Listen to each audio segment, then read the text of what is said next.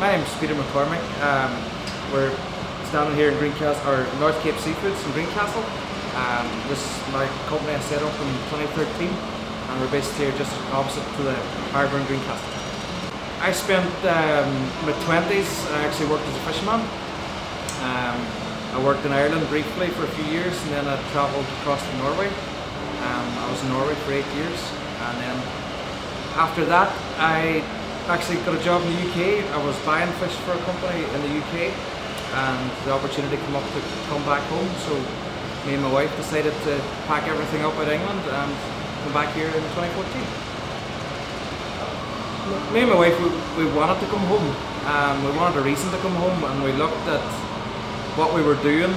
Um, this was something I was this I was involved in this type of business in the UK and seen that you know my father actually built this property here, so I seen it was an opportunity to potentially come and look at new production techniques and more efficient, effective ways of doing doing business, and uh, basically based on mechanism and automa automation, and we could make a living here in, in back in Greencastle. This place was built in uh, 1984. Um, the father they ran it for for 20 years. Um, the, the start of the end for this for Greencastle Seafoods when it started out was the the failure of the the fisheries on the north coast here. Quotas was a big one. The, there was lack of availability, and um, there wasn't opportunities to diversify like there is now. And um, Susie was at the end of his tenure of work, and he, the the business just they, they ceased they ceased trading in 2006. So. Um, there was an eight year an eight year pause, and um, I say my father sadly passed away in 2012. But there was an opportunity. We always talked about it, and um, I just found that it was something I wanted to do. It was actually after his death that I decided that it was. I never had any desire to come home beforehand, but it just uh, it gave me the push to say, right, you're either doing this or you're not, and this was the, that was how my decision was made. Really, it was it was more it was desire than like there was some calculation on how much it would cost and how much business you would need. I knew it was going to be a struggle, um, but um, I thought the hell with it. We get one go, so let's try it. Yeah, the two of us, like we had, um, we had two very good jobs actually. My wife, she was um, she was a teacher in London. Um, she she was actually on route to be a common school principal, you know, and I had my career as well. Like uh, I was buying for one of the one of the largest companies in the UK at the time. Um, there was career progression. They were like they were expanding those company that company across the UK. Um, but just didn't sit with me, you know. It was you know you, you either make your life at home or make it in London. Like London's London was fine. Um, at that time, I, had, I actually would have it was either come home or go back to Norway. I actually preferred my life in Norway to, to London, you know. Um, so it was almost a coin toss, you know. It was, but um, it was it was hard for the two of us because we actually gave up two jobs at one time. Um, we actually we came back, we got married in 2015. Um, my wife actually, because she was trained in the UK, she didn't have the credentials to, to teach out in the south here. Like the, there was a, quite a quite a long road you have to do there. So basically, she gave up her whole career as well and started those subbing in classrooms again. And basically, between the two of us, we got enough money every week for the rent, and we just carried on. You know, the amount the amount of skills I learned by going away um, was huge. Like the all our techniques, like even on our on our like we we defrost fish, we call it tempering. You know, uh, we we do a large part of our business is working with frozen at sea fish, and we process it after defrosting. It's it's a more structured. It's you know you're carrying your stock of frozen all the time and then you defrost it to order, you know, it's it means you can produce 365 days a year if you wish, and you're not tied so much to markets and volatility and and, and plus it's it's frozen stock. It, it's very it's very safe business. You, you, you've let there no wastage, you know. Uh, but I would never have learned. Like the Norwegians were pioneers of that in the in the 2000s, you know, and I would never have learned any of those. I, I didn't even know it existed before I went to Norway, you know and um, and then when I come back to the UK, I was shocked actually how much processing they were doing based on that type of production. And nearly everything in retail at the moment is um, is frozen and defrosted. It's, it's, it's frozen and defrosted to order. The, and also as well, the ships are bigger, they're more efficient, they can catch the fish quicker and, and it maintains the, the prices as well, you know.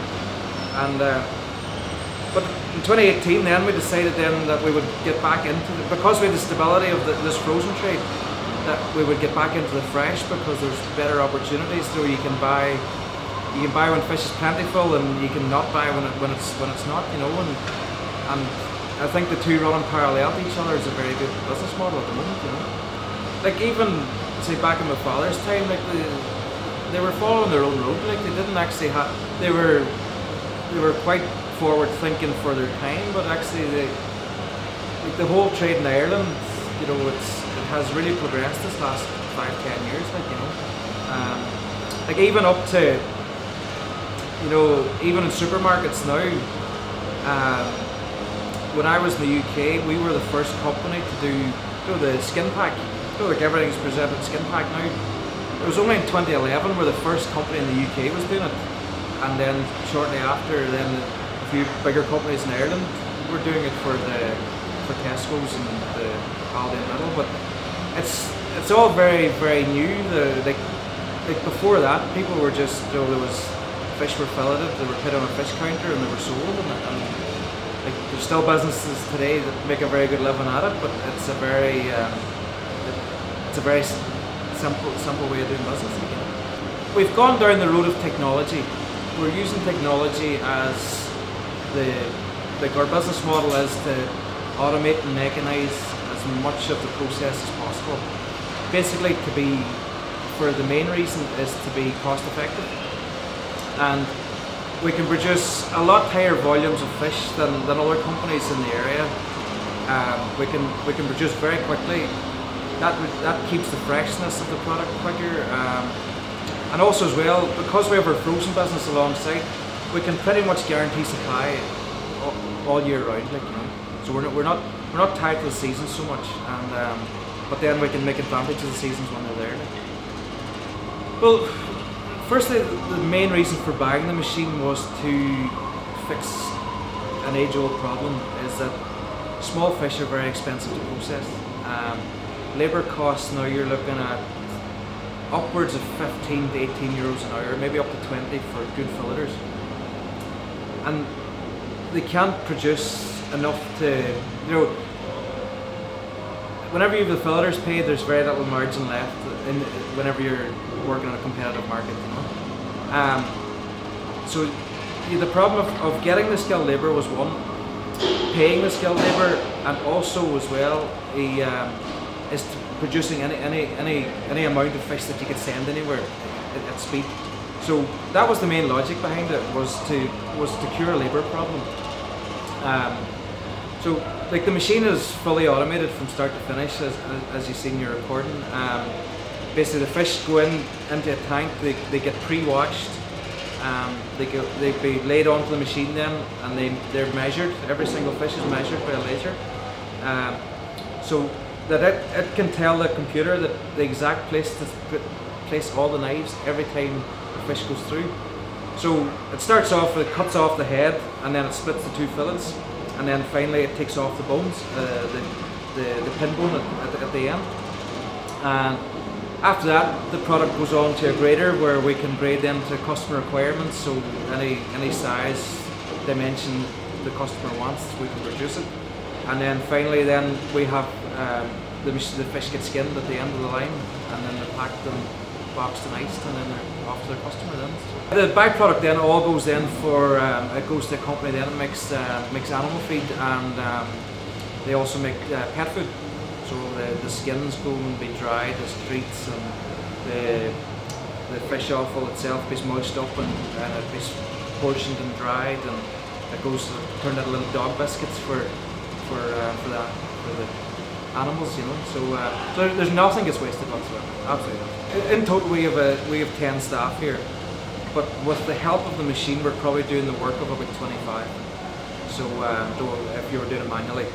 Um, when the machine's running at full production, you're up at 30, over 30 staff. So it's um, we say fully automated is that, that no no person has to take out a knife and, and put it to the fish, and bar maybe trim the odd piece of tail, or but it, it it required it doesn't require a skilled workforce, so you, you can you can basically all you need is, is, is, pairs of hands, and you don't have the fear that you know whenever you train filleters, they're they're very high demand, they're very sought after because there's other companies that require it could give them better money than you can, and all of a sudden then your your your skill set's down again. So it just takes the it just takes that danger away when you when you have the machinery there to do it, you know. And it's everything. It make the job's a lot easier. You know, it's you know. Um, people don't want to stand getting their hands wet all day, you know, with a small knife in their hand, cutting these little fish. You know, it's it's just it's it's becoming throughout the whole country. It's becoming a bigger. As years go on, it's it's getting more and more problem. The more we develop, you know, if if we were able to develop more into different markets, different sectors, um, you know, at the moment we're producing from a lot of our trades business to business. Um, you know, if we, if we look at, you know, we, we opened a shop here as a, as a trial just to see how it goes and if, if the retail offering is something that people people like in the future, maybe we'll, we'll look at that. You know. But it's like everything, like at the moment, uh, it's very hard to prove your case at the moment um, with, until COVID goes away or there's some some solution there because like the, there's no appetite for the banks or anybody to, let, to loan money at the moment and um, it's just um, I think we we just need to take the take the foot off it for a year or two now and just, just see how everything goes.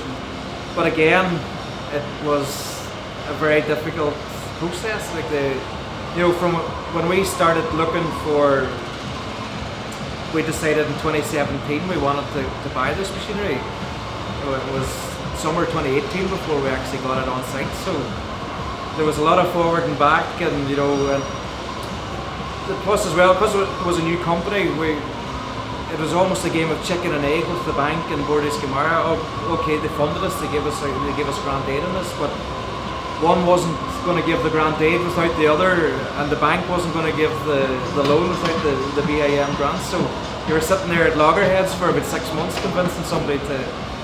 to uh, know, you're, you're convinced, like, eventually then it was, they decided they, they, would, they would support it, we put up a good enough case and they, they went with it, you know. Um, I'm very optimistic actually, I think um, when you look at the level of investment has gone into like we can do nothing without supply of fish. There's absolutely no we can unless the fish come into the world, we can't make a penny. Um, when you look at the level of investment that's been made on the harbour with the co-op there, uh, they've built a fantastic facility for the future and hopefully it'll attract more boats in and more people to, to get into the trade and, and also as well the skippers are all they've all upgraded and modernised their boats as well so we have a very good fleet here and a, a very strong and a young, young, young, young skippers. So I think um, I'd say the industry's going to hang around for another while, yeah.